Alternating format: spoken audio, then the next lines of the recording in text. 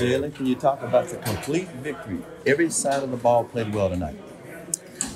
Uh, determination, understanding um, what's at stake. Uh, we locked in and we were able to put it together tonight. Todd Gurley only had 11 yards rushing. Was that the number one thing, especially following the playoff victory? They ran wild. This guy, this time they didn't run at all. The number one thing was us. Number one thing was coming out there and being ourselves. We know what type of talent we have on this team. Uh, we know what type of character we have on this team, um, and we needed to show that on and off the field tonight. You guys, you guys were blitzing, also uh, chasing after Goff, making sure he wasn't effective as well. It's all about getting him off his keys. Um, anytime you can disrupt a quarterback, um, not allowing them to get in the rhythm is a, is a wonderful feeling. Does this give you guys the momentum to go into the Philadelphia game, knowing that it was a complete game performance? We'll take it a day by day. Uh, we're going to enjoy this victory tonight, um, but tomorrow, tomorrow we're at it. It's a one-game season. Uh, getting ready for the Eagles. Appreciate it, Jim. What impressed you about 50 today? He's the general. Um, he's a guy that when he's healthy, um, he can still play. It doesn't matter how old he is. As, as, long as his body willing uh, will let him, um, he'll prevail. So, um, you know, he's grown to this point, and you know, hats off to him. Yeah, he had a day. First time in his career he's had a sack and an interception in the same game after missing three days of practice. Listen, it's a it's a blessing. Uh, you know, for for all of us to be able to learn from him, the way he prepares, uh, the way he go out goes out there and give it his all. I'm just I'm happy to be playing uh, alongside him. You said this was about you guys. Was the 273 number in your head from the playoff game last year, the rushing yardage that they had?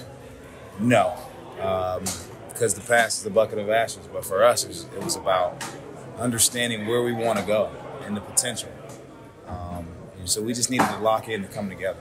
Um, it, you know, the star of the defense is the defense, um, and and we were able to put together, uh, you know, a great collective effort tonight. Seemed like tackling was really good today.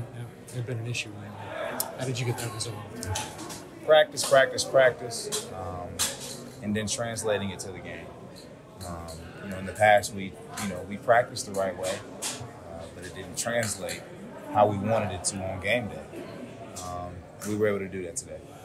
You talked. You talked about taking it one game at a time, knowing that that one game next week is can be more important, can give you guys a week of rest, can clinch the division, can get you that playoff spot. Does it even ratchet up and the focus even more? You think among this group? Same focus, same focus, same focus. Uh, everyone, from coaches to players to staff, um, everyone was locked in how we needed to be this week, um, and we just have to continue to repeat that. Um, and to even grow on our mistakes that we made today.